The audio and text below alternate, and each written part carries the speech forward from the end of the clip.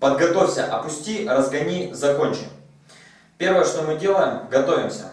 Какие задачи при подготовке? Первое, нам необходимо отвести ракетку на определенное расстояние для того, чтобы она имела возможность разогнаться на этом пути.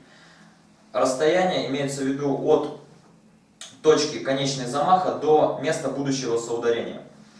Второе, нам необходимо поставить тело таким образом, чтобы все наши звенья были готовы разогнать ракетку максимально сильно. То есть, э, чтобы наше тело имело возможность эффективно управлять разгоном ракетки. Две задачи. Отвести ракетку, подготовить тело. Как это сделать? Два движения. Первое движение. Нам необходимо поднять руки вверх. При этом, это именно первое движение, которое я советую делать. Потому что в процессе практики я замечаю очень часто одну и ту же ошибку у людей, когда они руки не успели подготовить, а ноги успели подготовить. Как это выражается? Э, это выражается в том, что они идут к мячу, а руками делают движение поздно. Что получается как следствие? Мало времени для того, чтобы ракетку опустить и разогнать. Поэтому они не опускают, а отсюда сразу же ведут ее вперед. От этого э, слабое вращение мяча, либо вообще резанный удар, то есть удар с обратным вращением. То есть э, люди не имеют возможности снизу ракетку разогнать вверх, потому что они ее просто не успевают опустить. Предотвращая эту ошибку, я советую вам начинать подготовку с движения рук вверх. Если вы руки поднимете вверх, а ногами развернетесь в сторону, то ваша ракетка отойдет в бок. Как раз то, что нам необходимо. На данном этапе, то есть э, при начальной подготовке, э, в начале обучения теннису, я не советую вам вращаться корпусом. Это достаточно сложное движение для новичка. Необходимо сделать при подготовке всего два движения. Первое – поднимание рук, как я уже сказал. И второе – это поворот на ногах.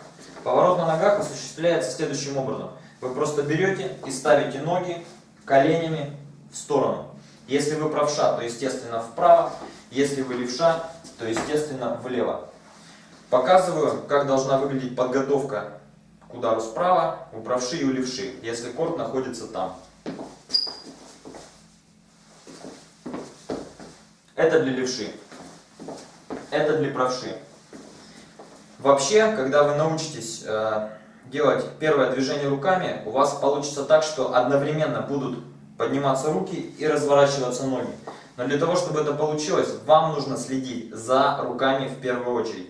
Практика показывает, что ногами развернуться не так сложно, а руки постоянно опаздывают. Но для того, чтобы хорошо разогнать ракетку, мало просто развернуться ногами в сторону. Нам еще необходимо поставить их устойчиво. Для чего? Для того, чтобы на протяжении дальнейших фаз а, мы обеспечили равновесие нашего тела. Как это сделать? Представьте, что на вашей половине площадки проведена диагональ. И именно по этой диагонали вам необходимо поставить ноги.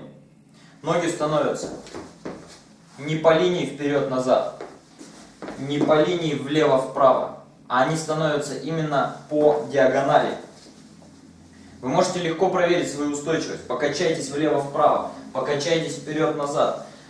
Насколько вы себя хорошо, устойчиво ощущаете на площадке. Если одна из ног у вас отрывается от пола, то вы стоите неустойчиво.